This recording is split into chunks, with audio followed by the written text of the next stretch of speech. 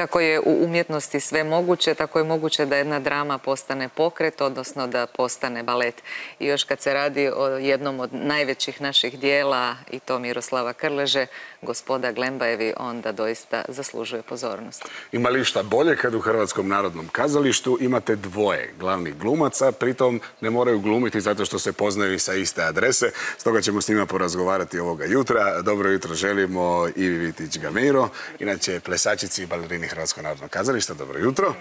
I njenom suprugu, plesaču također u baletu Hrvatskog narodnog kazališta, Guillermeu Gamiru Alvešu. Bon dia. Dobro vam jutro i dobro nam došli. Evo za početak recite nam kako će izgledati ova priča. Pa ja mislim da će zapravo izgledati vrlo interesantno. E, posebno mi je drago što smo, e, što radimo Krležu i što radimo našu priču. E, mislim da je naš koreograf Leo Mujić jako dobro to sve osmislio i glumački i plesno. Predstava je zapravo u oko sat i pol traje, tako da mislim da je zapravo uspio sve reći u tih sat i pol i mislim da bolje nije mogao stvarno. Guillermo, je li bilo teško pripremiti se na plesanje i glumu sa suprugom?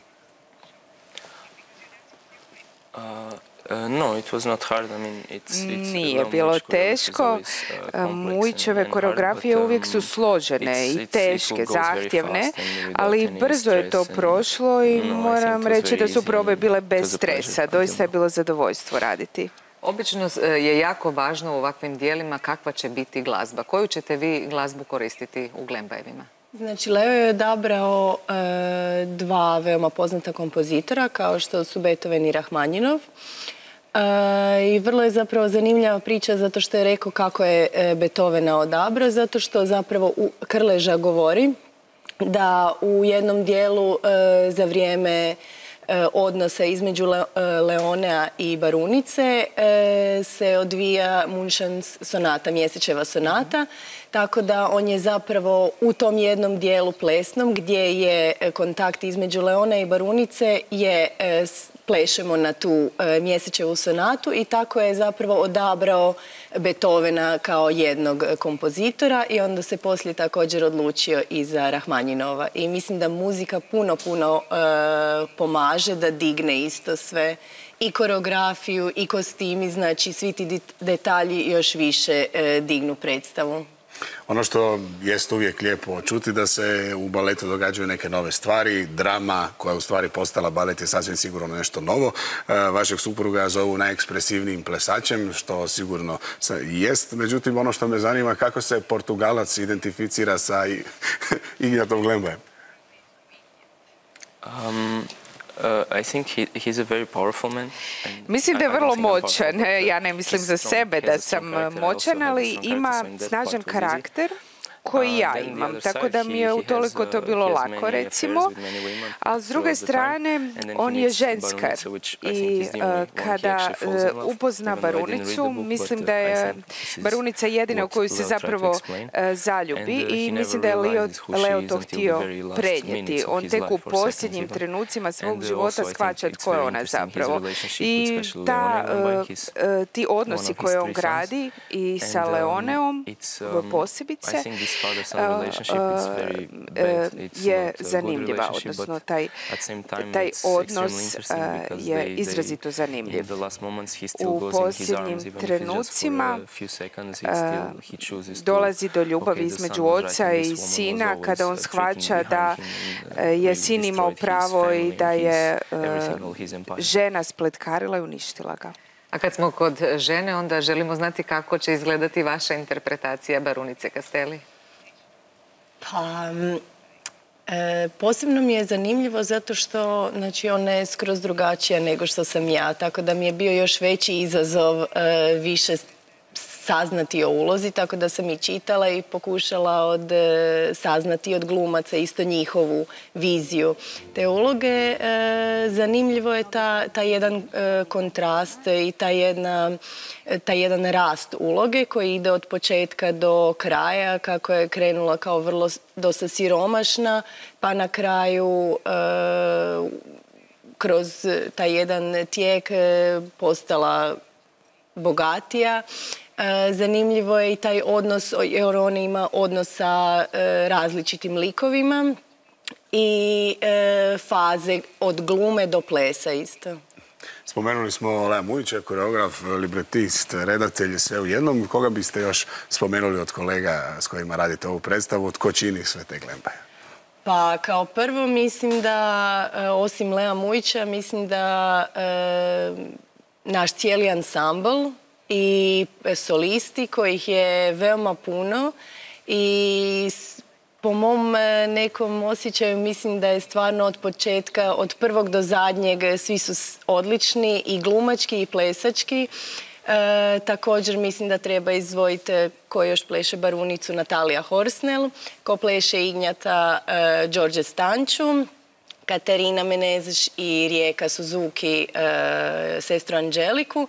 I tu je još puno, puno drugih uloga e, koje su jako, e, jako dobro odigrane. I također naš cijeli tim od garderobe, od šminke, od kostima, od krojača bez kojih kostimi ne bi bili, do balet majstora. tako da ima puno od direktora, od koreografa, od svjetla, od svega. Tako da je teško ovako izdvojiti. Mi kao cijeli tim je, mislim da je jako dobar. Jedna velika baletna obitelj. Tako je. A sad kad smo kod obitelji, s obzirom da ste vi obitelj, kojim vi jezikom inače komunicirate? Uh, all three, a bit English, Croatian, Portuguese. na sva tri jezika na portugalskom, engleskom, hrvatskom malo je zbrka u kući, ali... s obzirom da, e, da govorite sva tri jezika, koji vam je onda najlakši? Rekli ste engleski, iako smo željeli čuti vaš jezik koji je toliko prekrasan. Hvala. I think English because that's how we started to communicate. Na uh, engleskom smo počeli razgovarati. Potom uh, moja supruga je brzo naučila portugalski, ali budući da sam ja nešto sporija, još nisam tako dobro naučio hrvatski i nemam toliko vremena za učenje, tako da se hrvatski govori najmanje i ne mogu govoriti na televiziji. Imate li možda neku dragu hrvatsku riječ? Jesu li vas naučili već psovati na hrvatskom? favorite? Word. Oh yeah, but I cannot tell them. to ne mogu reći javno. Naravno, i ono što moramo pitati, karijera plesača ima određene zahtjeve, prohtjeve. Planirate li još ostati u Hrvatskoj ili ćete možda zaplesati u Portugalu? Ne samo privatno, nego možda i profesionalno. Uh, I don't know, it's always for now I'm very happy here. Još to ne znam, trenutno se osjećam jako dobro ovdje kao kod kuće i uh, već sam plesao i u drugim zemljama, ali u Hrvatskoj se doista osjećam uh, kao kod kuće. Kada kažem idemo u Portugal tijekom praznika, onda mi Portugal postaje kuća i dom, ali ovdje je doista lijepo to što imam obitelj i suprugu i osjećam se sjajno ovdje i publika voli balet. E, to mi puno znači. Mislim da je u Portugalu možda nogomet nešto važniji. Ipak naša publika je važna. Kako izgleda kombinacija portugalsko-hrvatskih delicija? Tko kuha doma? Ko... Guillermo je zadužen za kuhanje. Voli kuha, tako da sam taj dio njemu ostavila. to je kombinacija portugalske i hrvatske kuhinje? Yeah, it's a bit, yeah, it's a bit of everything what I Tako je, to je jedna mješavina, ono što znam iz portugalske kuhinje i uh, uzeo sam i, preuzeo sam i neke dijelove iz drugih kuhinja i od majke. dana u dosadašnjoj karijeri bila je jedna prohladna večer u Francuskoj. Sjedio sam do svog dragog prijatelja iz Lisabona, Portugalca, e, koji je vikao u sto i nekoj minuti Portugal, Portugal, Portugal. E, kako se vi dogovorite? Tko je draži obitelji, Modrić ili Ronaldo? Ja nemam veze s tim. Njegovo je, kad je nogomet, onda se ne smije pričati, onda je to je koncentracija, tako da... Skoro bolje kao da Bolje da izađem od doma ili iz ove, tako da to prepuštam njemu.